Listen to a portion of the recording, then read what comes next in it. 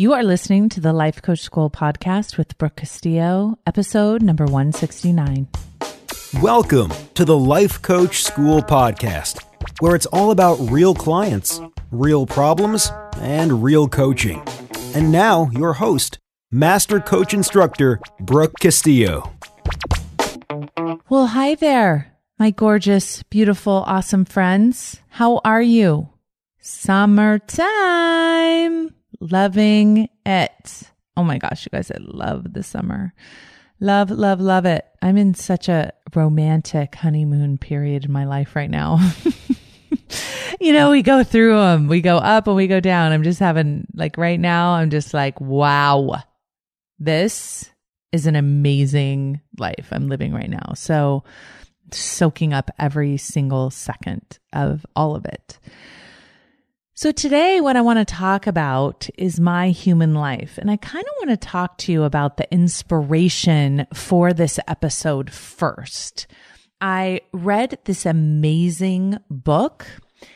I can't even remember who recommended this book to me, but it's one of those books. I think I've mentioned it in the podcast before, but it's one of those books that I read and it completely blew my mind it was one of those books that I'd had on my shelf for a while and then I pulled it off and started reading it and then I reread it.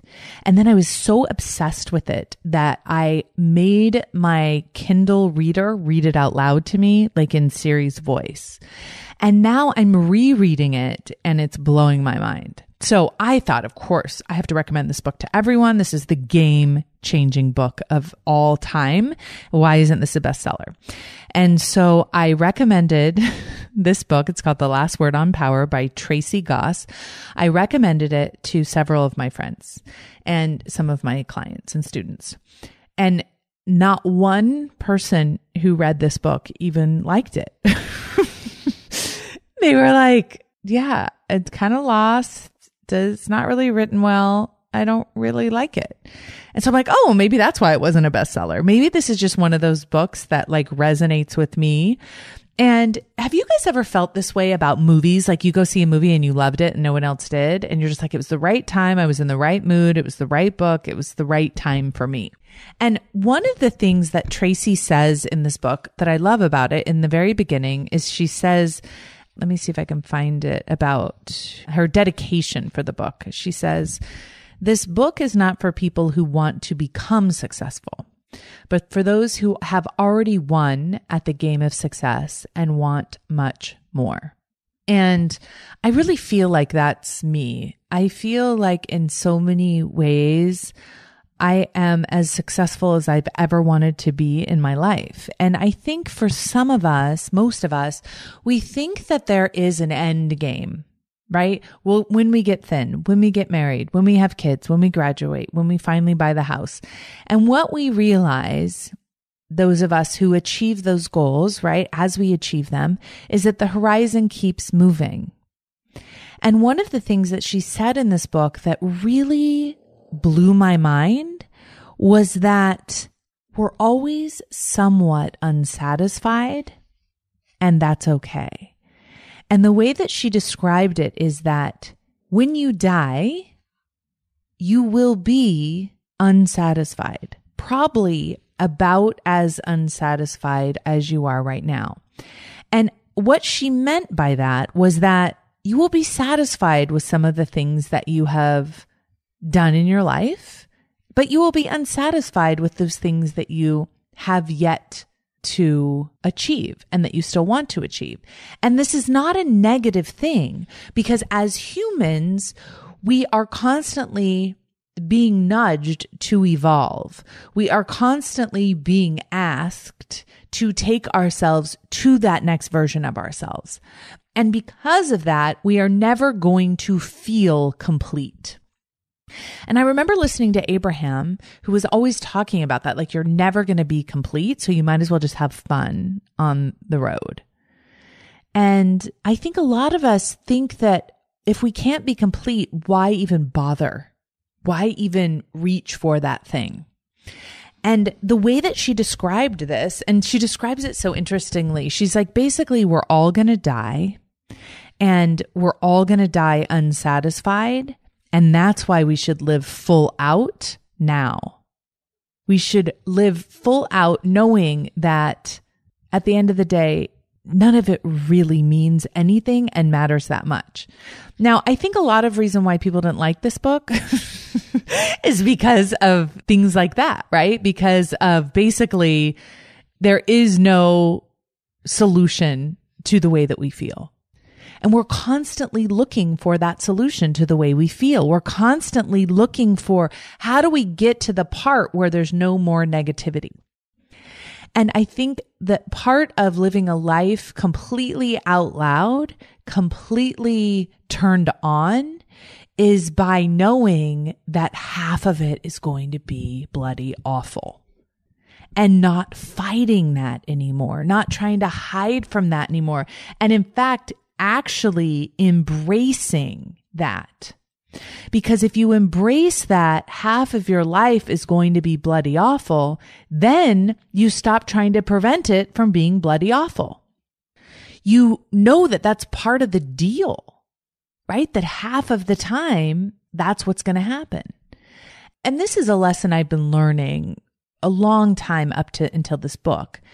But one of the things that she she talks about how we're going to be unsatisfied. You will be just as unsatisfied when you die as you are today. The way that she said that made me realize like I can give up the idea that I will at some point achieve satisfaction. And if you do achieve satisfaction, you have stopped being a human that needs to evolve.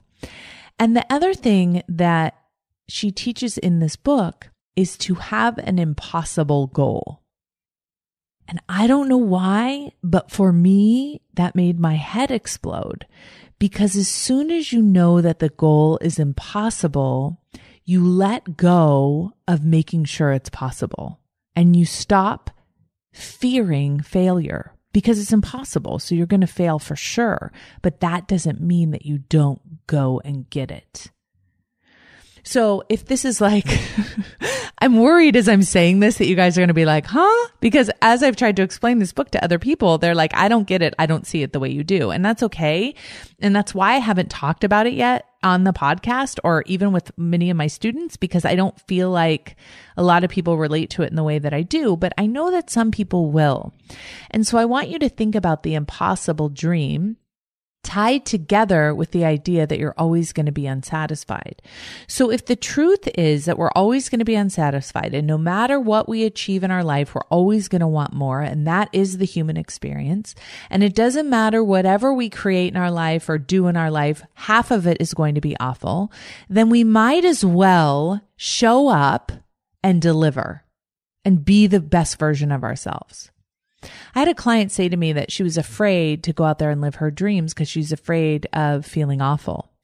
And I said, Oh, for sure you're going to feel awful. But here's the good news. Don't you feel awful now half the time? So you might as well make some money doing it. You might as well have some fun doing it. You might as well create a legacy while you're doing it. You might as well realize that that is the human experience. And when you set impossible goals for yourself, you are willing to fail all along the way, but you're also willing to take massive action without the fear of failure. With that self confidence that isn't afraid of rejection. And that's how you blow your own mind, my friends. So the question is, how do you determine what is possible for you how do you determine what you're willing to do, what you're willing to lay out for yourself? And what if you allowed yourself to go after the impossible dream 100%? If you weren't afraid of failing, that's exactly what you would do. And so I'll tell you, honest to God, reading this book really has helped me change my mindset about the dreams I have in my life. And here's what it's done for me. It has made my future so much bigger and so much more exciting than my past ever was. And knowing that if I make this impossible dream happen, I will still be just as unsatisfied as I am right now makes it totally worth it. I see clients all the time. We just did our mastermind about a month ago in El Dorado Hills, and I had all my coaches come in and I give an award. It's called the Elite Award, and it's for all of my coaches who make over six figures a year. And one of the things that I've noticed with my six figure clients is that they are not fully satisfied once they achieve that goal. It was the goal they wanted that all along. I just want to make six figures. That will just be so awesome. But once they achieve six figures, then they want to achieve 200,000 a year, then 300,000 a year. Then they want more. They want different. They want bigger. I think that's a beautiful thing. Now, this is different than never feeling like you're good enough right? That's different. And it's also different than feeling guilty that you aren't fully satisfied. And I think it's okay to acknowledge that the human experience is never going to be one of full satisfaction. That doesn't mean you're not happy. That doesn't mean you don't love your life. It doesn't mean you're not appreciative and grateful for everything that you have. That is totally my experience of the world. But there's also that humanness inside of me that is asking for me to grow, always asking for me to grow. And I'm a hundred percent all in with that part of my humanness. And I will tell you that accepting that and becoming aligned with that and being willing to be that kind of human has made my life so amazing. And so this is the project that I want to work with you guys on in Scholars. And even if you're not in Scholars, I'm going to give you the same assignment. Unfortunately, I won't be able to give you feedback on it, but I still think it's absolutely worth going through this exercise. So here's what I want you to think about. What do you want to do with your human life? Have you thought about it? Isn't it crazy that so many of us haven't even thought about what we want to do with our human life as a whole? Do you have a plan? What is the point of all of this?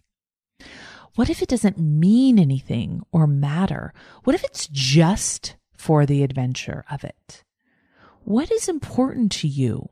What do you want to create? What do you want to say? What do you want to change? What do you want to try? If none of it matters, what do you want to do if we're just in a playground? If we're all going to die anyway, what do you want to do in the meantime? Think about it. Really think about it. And then write about it. Write it down, make it real, put it on paper. I wrote my own human life manifesto and I will share it with you, but I'm encouraging you to do your own. I want to blow my own mind. I want to be an example of what is possible. I want to do the impossible. I want to evolve, not just once, but many times within my one life. I want to prove the capacity we create by managing our minds. I want to test the limits. I want to be the opposite of ordinary. I want to question everything. I want to lead to new discoveries serve humans now and after me. I want to be fun. I want to be risky. I want to be uncomfortable on purpose for a bigger purpose. I want to be loving, loud, big, inspiring. I want to have epic wins and epic losses. I want to be a creator. I want to live an interesting life. I want to die knowing that I laid it out. I didn't hide it or keep it to myself. I didn't let fear lead. I want to let them judge me. I want to let them be wrong about me. I want to have my own back. And in the end, I want to high five myself because I lived for me. I want to have owned it. What is your human life manifesto. What do you want your life to be? Decide and write it down. I'll talk to you next week. Hey, if you enjoy listening to this podcast, you have to come check out Self Coaching Scholars. It's my monthly coaching program where we take all this material and we apply it, we take it to the next level, and we study it. Join me over at thelifecoachschool.com forward slash join. Make sure you type in the the T H E lifecoachschool.com forward slash join. I'd love to have you join me in Self Coaching Scholars. See you there.